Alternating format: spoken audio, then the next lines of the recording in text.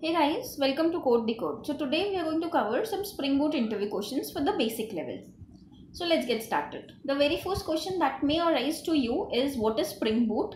Why did you use Spring Boot in your project if already the Spring is available to you? So why did why do you need to use Spring Boot? What's the advantage of that particular thing? So you may answer to that particular thing in three ways. The first thing is Spring Boot is nothing but a Spring module elaborating it a bit more, Spring Boot is nothing but a Spring framework for rapid application development using Spring framework with extra support of auto configuration, embedded web application servers like Tomcat and Jetty.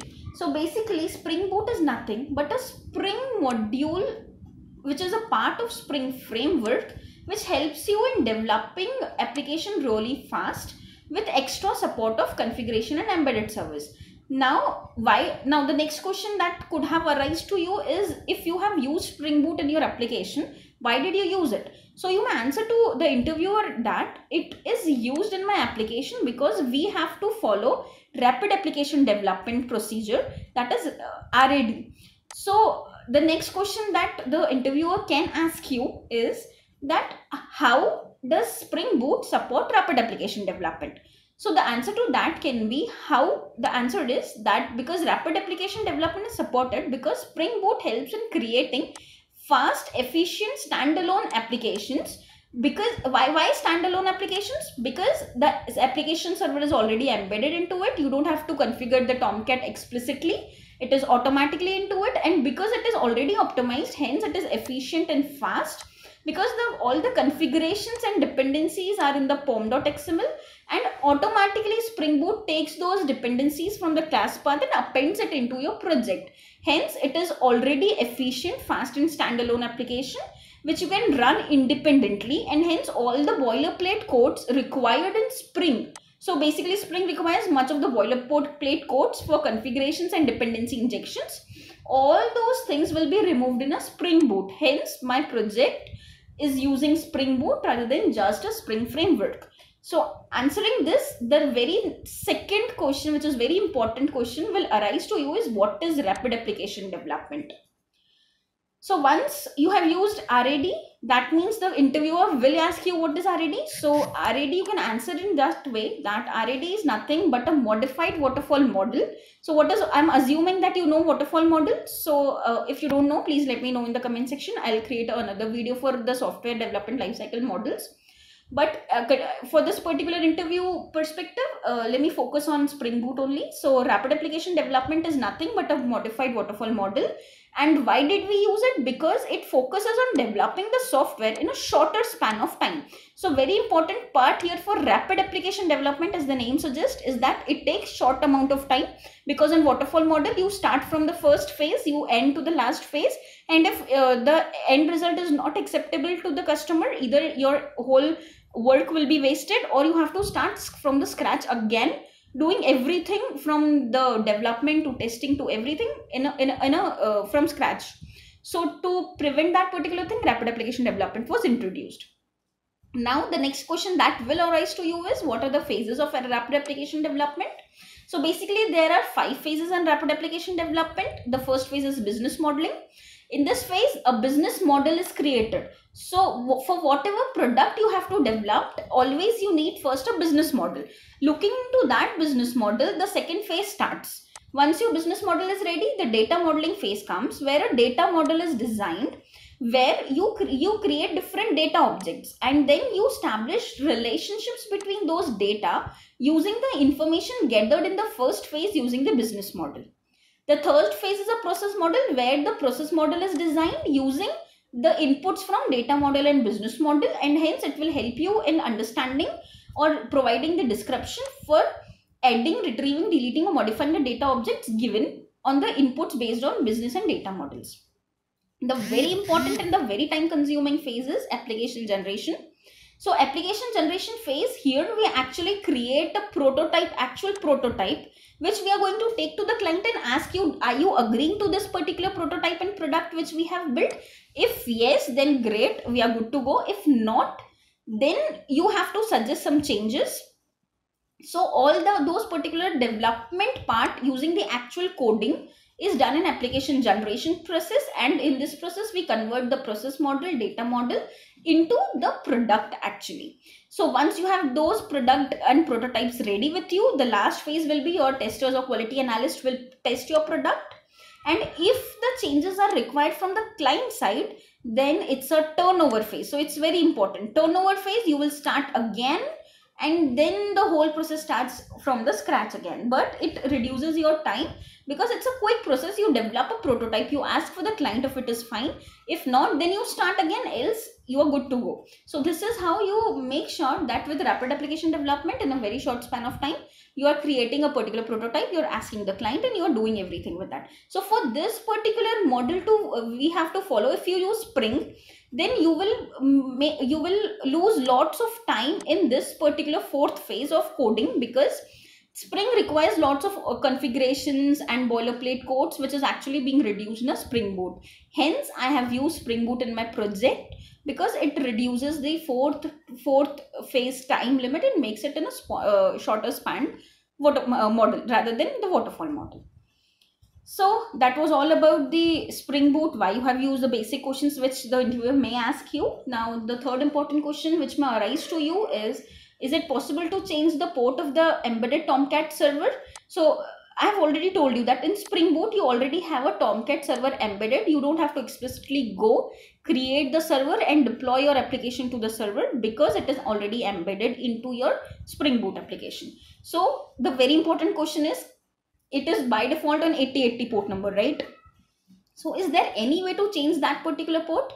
So the answer is yes and it's a very simple way just put the server.port in the properties file in application.properties. So it's very difficult to understand with this slide. So let me explain everything to you programmatically from now so that visualizing those code changes, you will be able to answer the interviewer questions in a much easier and better way. So let me show you my code, how to do that. So this is my Spring Boot example and this particular example is created using file new spring boot startup project. And it's a very easy thing to do. If you don't know how to create a spring boot uh, exam uh, uh, basic poc or the example please let me know in the comment section. I'll create another video for making you understand spring boot from scratch but i'm going to focus on interview questions so i'm i'm taking this as a fact that you know a bit of spring uh, already and spring boot already. So i've created this example for you. I have a spring boot uh, main where i have a particular package where the spring boot application is being created and i have the run here. Now this is application dot properties now as an answer to your question is can you change the port number. So let me tell you what is the port number currently. So let me run this particular thing for you as a Spring Boot application. So you can see the Spring Boot application is started. And you can see if I scroll to the right more, you can see Tomcat is started on port number 8080. So this is my default port number and the interviewer is actually asking you how to change this port number. So your answer will be that just go to your application.properties. It is a compulsory application uh, properties here where you configure your properties and where you modify your default properties configured by a Spring Boot for you. So how to do that? You just have to write server.port. So you can see I have these many existing properties configured by uh, Spring Boot for me. So I'm going to change the server port to me to 80 say 90 because currently it was 8080 i don't want it. I want 8091 so any number uh, 80xx whatever you like and you just save it. Now i'm going to stop this and i'm going to run it again. So if you can see my application is starting again.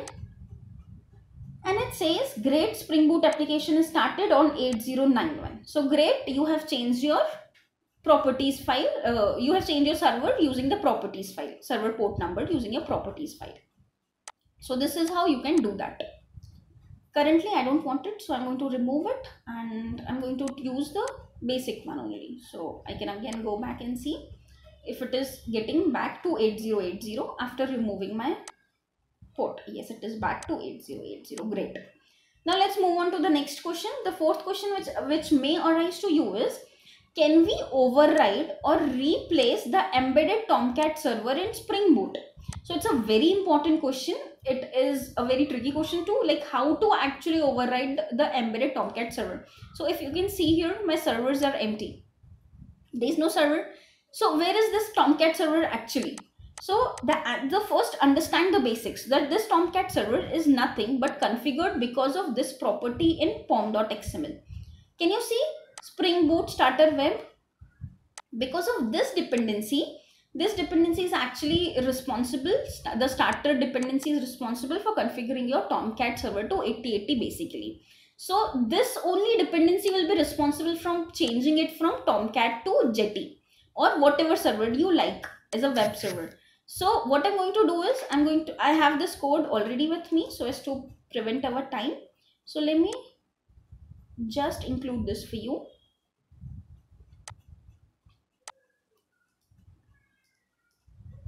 Okay.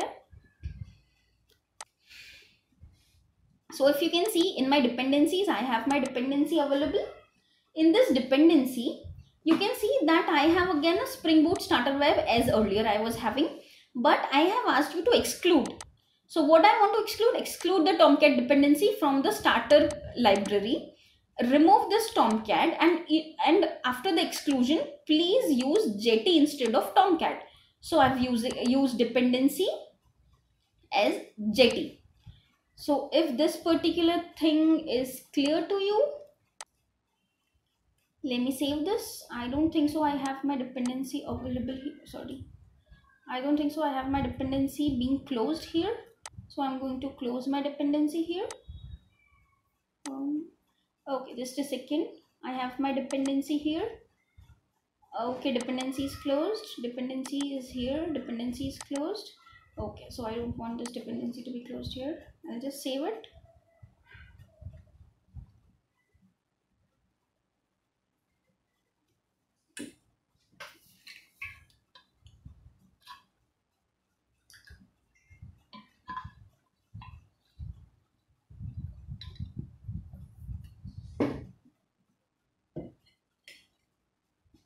Perfect. Now i'm going to install i'm going to stop my server. I'm going to install it again. Run as maven install so that my dependencies are installed.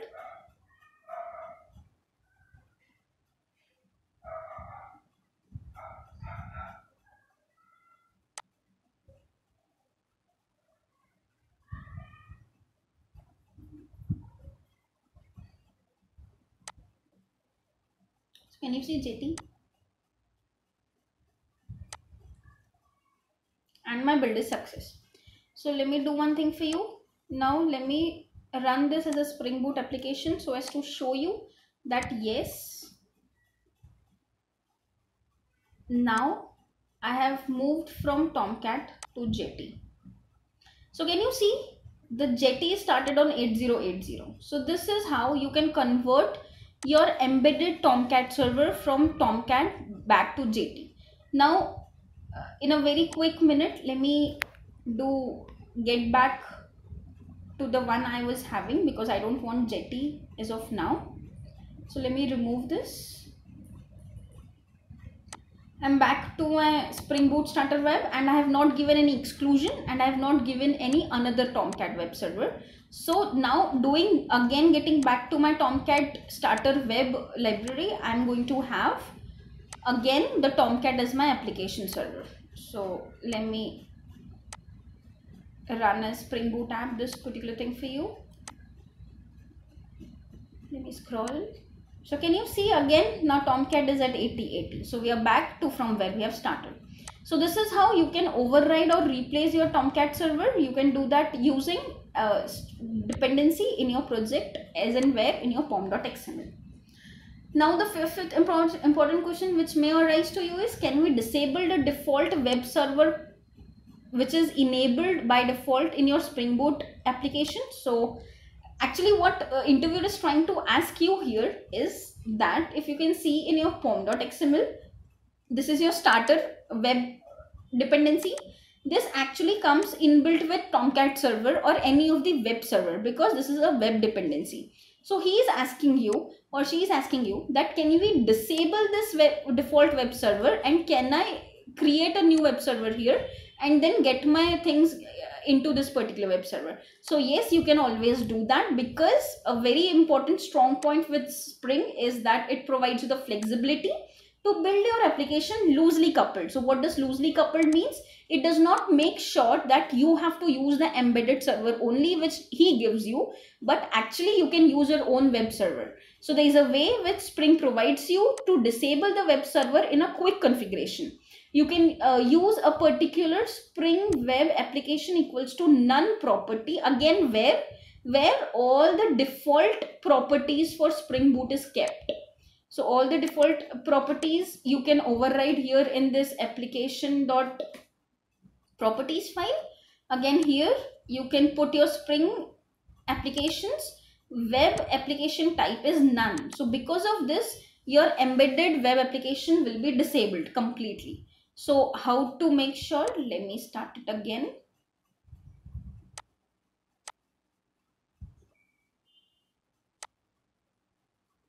So see, started application and my server is closed now. So this is how I have completely removed my web application completely. So how did I do that? By overriding a particular default property of Spring Boot, which is Spring main web application type. I've made it to none. That means there is no web application dependency in our project. And now you can create a new server of for sure here and import things here. So you can always click here and there is a way to do that. If in I'm not going to cover this because it's a very short video for you. So if you want to know, let me know in the comment section. I'll create a video for that, that also. But currently I don't want this to happen because I want to have my web application server in place because I have to showcase some more things to you. So let me start it again and let me check whether things are in place. So yes, I'm back with my Tomcat server, which is an embedded type, which is 8080. The port can be changed using the server dot port, and you can use change the particular uh, depend embedded uh, web server using exclusion in this particular part and inclusion in this particular dependency of boot starter web.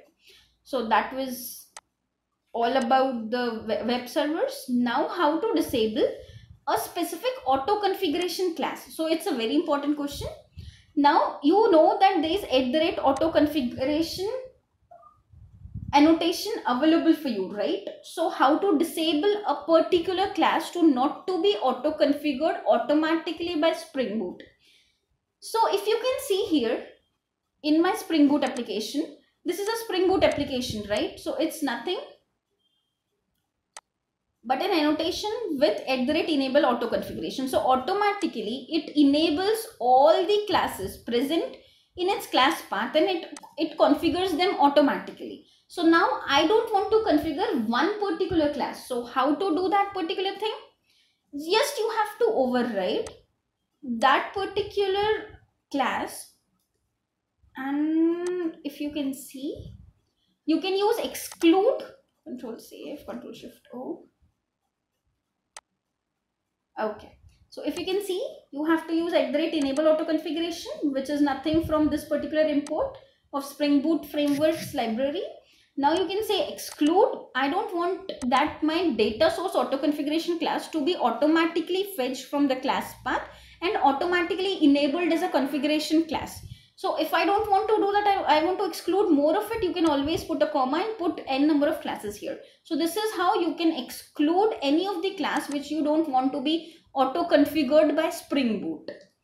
So if this is still not clear, let me know in the comment section. I'll create another video for all these annotations separately. But this is one of the very important interview questions that if at the rate Spring Boot application does have at the rate auto configuration into it, how can you override its basic property? So how to override it? It's okay. You can keep it also and you can keep this also. And uh, with this particular as a second parameter, you can always exclude any of the classes which you want, you don't want to be auto configured. Now, seventh important question is what does the at the rate Spring Boot uh, annotation actually do? So, if you can see this particular at the rate Spring Boot application annotation, what does these particular things do? So, as per the documentation, at the rate spring boot annotation is equivalent to three of the annotations at the rate configuration which helps you in identifying your beans for a particular spring dependency injection at the rate enable auto configuration helps you in auto scan auto scan means if a particular bean is available in your class path it will be auto scanned and it will be added to your uh, set of dependencies. At the rate component scan it is a places where you can scan for your components or beans. So it's nothing if you can see here also if it is nothing but it's at, the rate component scan at the rate enable configuration and at the rate component so basically spring enables the developer to use single annotation rather than using these three annotations. But as we also know spring is loosely coupled. That is why it also allows you to use each of the individual uh, annotations if you need. So uh, you already have an example. When i needed to have it loosely coupled i cannot use only at the rate spring boot application because i don't want my particular data source auto configuration class to be auto configured so i've used this independently and i've removed what all classes i don't want is to be auto configured so Spring is not that rigid. It always allows you to do things on your own way also. Okay, so the next question is that how can you use a property defined in your application.properties file into your Java class? So what interviewer is trying to ask you here is that if you have any any of the property defined in this file, so application.property file, what if I want to use the value of this property in any of my class? Say suppose this class or any of my class. So how can you use this particular properties value into your java class? Because this is not your java class right? So how to use any of the value into your java java class? So let me show that to you in a quick demo let me create a package for you. So let me create a package here. Named let me take the name here first. Okay. So I want a controller here right? So I'm going to create a new package. And I'm going to write controller. So anyways I have to show you how REST controller works. So let me create a controller for you. It's very simple. Just create a class code decode controller. Okay? And just okay. Now in this class how to make a class rest controller. So nothing. Just a simple annotation and you have a controller ready. As simple as that. Now a controller this is a controller which will be able to accept your like incoming request but you always need a method to do some business logic right so for that you always need a request mapping so basically I just want a get request. So I'm using a get mapping with say path as code decode. Fine. Simple as that. And here I'm using public void um, code decode get method. Okay. Simple. With no argument and in this I'm doing nothing I want to actually use my server.port as system.out.println in this method. So how to do that? So very simple way is use these two things, two lines and you will be good to use any of the property available in your application.properties into your Java class like controllers. So the custom value will be my server port and control shift O so that I can have my value. This Remember this value is from Spring beans and not from spring boot so this is nothing related to spring boot it is something a property of a spring frameworks bean package and i'm saying server port okay and in println i'm writing sorry i just want to print it right? So my server port is and plus my server port simple my variable. Now let me start this application for you in a run mode. And my profit uh, my server is running is 8091 so once my server is started okay this is started. So it is executed with port 8091 on my local host. So with this i'm going to enter.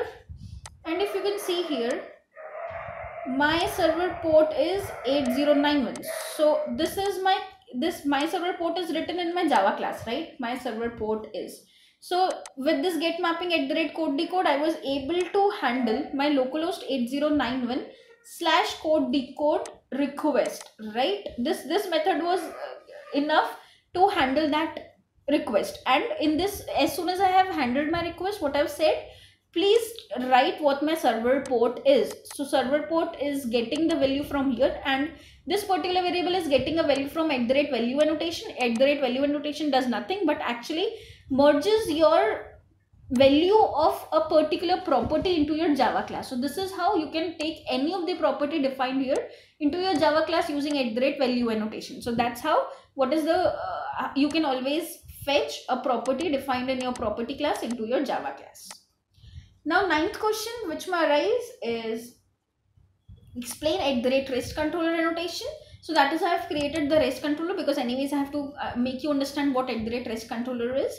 So rest controller is nothing but a specialization of at the rate component and is auto detected through class path scanning. So basically it is used for creating the RESTful controllers and it is a specialization of at the rate component only. It basically creates a bean only.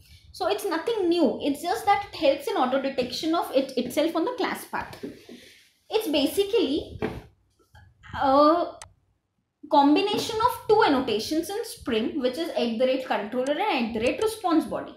So let me make you understand this with a diagram. This is my rest controller. And rest controller is nothing but a combination of two annotations. The very first annotation is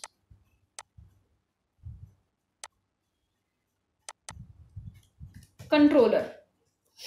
So you know what controller is in spring right? And you know what is response body. I'll i'll tell you what it is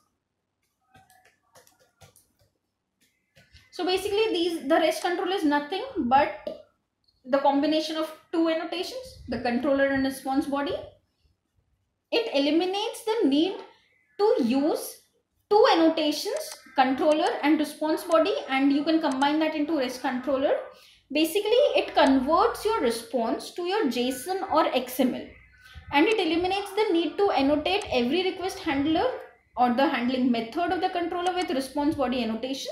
It is typically used in combination with the annotation handler as at the rate request mapping. So the specialization of at the rate request mapping is what I have used which is at the rate get mapping. So REST controller is always used in conjunction with any of these mappings uh, which will be able to handle your request and do the business logic on that particular request. So REST controller is a combination of two and REST controller always used with uh, response body internally being used and it indicates the data written by each method will be written straight into the response body instead of in the template. So I hope this much is clear to you. I'll move ahead to the next question uh, which is a very important and the 10th question which is what is the difference between rest controller annotation and at the rate controller annotation in Spring Boot? So let me make you understand this with a, with a very simple example. You must have known a web application and a REST API difference, right? So what is the difference, basic difference between a web application? Whenever you have a at the rate controller in your web application, what happens is whenever you get a response, the response is actually used by the user as a human viewer and hence it has to be something related to HTML, CSS and JavaScript which is actually human readable format. So in a web application, whenever you get a response, it should always be mapped to HTML, CSS, JavaScript, JSP so that your data is readable to the human. But when it comes to REST API, it's just the REST API client which is going to get your data. So the response should always be in the form which is actually readable by REST API client. So the two ways in which REST API client can read your data is through JSON or XML. Hence, this is a very basic difference between a web application and a REST API. Just to make it uh, more clearer, web application is something whenever it gets a request, web applications make sure that the human in front of the laptop or the computer is able to see something which is readable to it. JSON and XML is not readable to the normal human being. I'm not talking about software developers, the normal human being. Whenever it is hitting a particular web application, it is expecting to see the data in HTML, CSS proper formatting. But when it comes to the REST client or REST API client, REST API client is capable enough to understand the data which is in JSON or XML format. So that is why a basic difference between web application and REST API is that web applications actually uses HTML, CSS to show the data and REST API uses the data in the format of JSON and XML to understand it. So the same goes with REST controller and controller annotation. Controller annotation used in web application is actually used to map your data or the model object to view or template. So basically controller searches for a view or template to map its model into that and show it to the human so that it is human readable. But at the rate controller is used by the REST APIs because it is used to return the object directly in the response as JSON or XML which is readable to REST API client. So that's a very basic difference between the controller uh, and the REST controller. Controller is used for the human readability. The human is able to understand the response of controller, but to make it uh, like uh, make the REST API client understand the response body must be used. So rather than using both of them and uh, giving it to the REST API client, you rather use REST controller which uses a controller to handle your request and use response body which is internally uh, converts your request or response into the JSON or XML which is the REST API client readable format. If it is not clear, please let me know in the comment section. I'll create another video with uh, these the, the these two particular concepts the REST controller controller and the web applications and REST API client differences for you. Now let's let me move to the 11th question. What is the major difference between request mapping and get mapping? So I've given you an example already here. I've used the get mapping. So my browser is the one which sends you only the get request because uh, this browser is not capable enough to give the post request because post request always goes with a body and I'm not able to give the body here from this browser. Hence, the at the rate post request is not handleable by browser. So hence I have used get mapping because by browser I only give can give get mappings or get request. So uh, any get request is captured by get mapping but any of the post request will not be able to be captured by get mapping. So that is a very basic difference between get mapping and request mapping and how do you use the request mapping? You use request mapping is this request mapping and similar to that at the rate code decode and I'm going to remove it. So this particular uh, annotation is capable of handling get mapping, post mapping, put mapping, delete mapping, any type of patch mapping, any type of mapping which you are capable of giving. But uh, this particular get mapping is responsible for only getting the get request not the post request. So this get mapping is nothing but a specialization of request mapping and you use get mapping only and only when you're very sure that your request is coming as a get request only. If it is getting as a post request, then it won't be able to handle it. So that's the very basic difference between the request mapping and the get mapping. Get mapping can be used for get, put, post and many other requests. But get mapping is used as an extension of request mapping. It helps you to improve the clarity on your request only when you are clear and sure that you are going to handle only you are only going to get get request from the client then only use get mapping. Else make sure uh, be safe. Use request mapping. It is capable to handle your get post put delete patch any kind of rest uh, request which is getting from a rest client. Now the last question for this particular video because the length is already uh, we are getting past it we have many more questions available so i'll be covering that in the second part. But current this will be the last question for this particular video. What is the use of profiles in the spring boot? So this is a very important question and a very basic question too so basically when you are working in an enterprise application while developing a particular application in the enterprise or a particular organization you deal with multiple environments. You agree to me right? There will be a development environment where you will be developing your code testing your code. There will be a qa environment or quality assurance environment where your tester will test your code. Then there will be a prod environment where that will be a production environment where the real client or the users will be using your application So to configure your different properties basis on the basis of the different environments is what is profile is all about profiling in Spring Boot. So if you want to use profiling in Spring Boot, you must have different environments and you must have different properties, at least one different property for different environments. Then only it is useful to you. So let me give you an example. If on development on development server, I have my H2 database but on prod environments, those servers are having the DB2 or Oracle database. Now, how to handle these things? So let me explain you this with a very simple example. The example which I'm going to give you here is a simple of server port. Suppose I have two applications. Let me create the properties for you.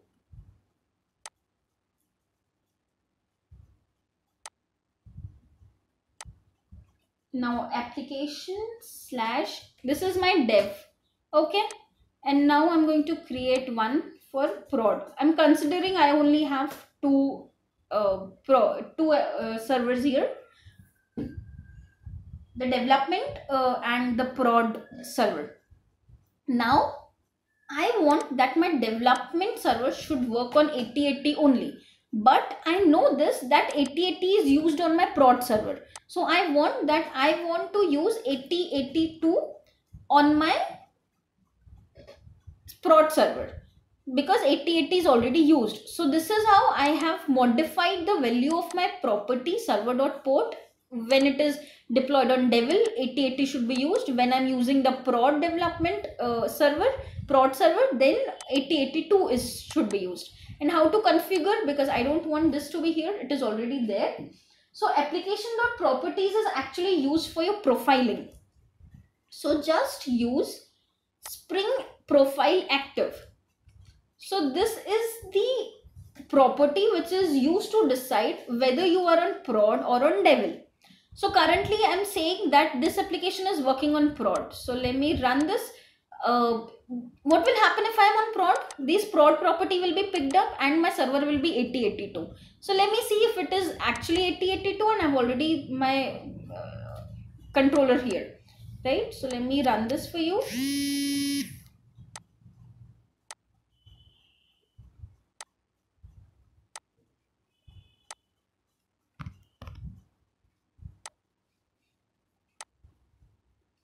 Okay, great. So I am on C. If you can see here, the following profiles are active. Prod. My prod is active and 8082 is actually the available port. If you want, I can even have uh, 8091 won't reply to us because it's not available. So it says it cannot be reached. But 8082 will be reachable. So if you can see, yes, 8082 is reachable and I am currently on prod. Now I want to be on devil. So what I have to do, I just have to go into my property file and I have to use my dev server as my profile. Just by simply saving it and restarting, you can see my application will be on dev devil environment and 8080 is used and I have not used 8080 in prod because it was maybe already used and hence now 8082 won't be available to me and it will give you a refused connection so what I will do, I will put 8080 here and I will wait and my server responded and see my server is 8080 and 8080 is available and the profile is dev. So this is as simple as that, the profiling. This is how you can always profile your application when you have to extend or scale it to make your application scalable to different environments.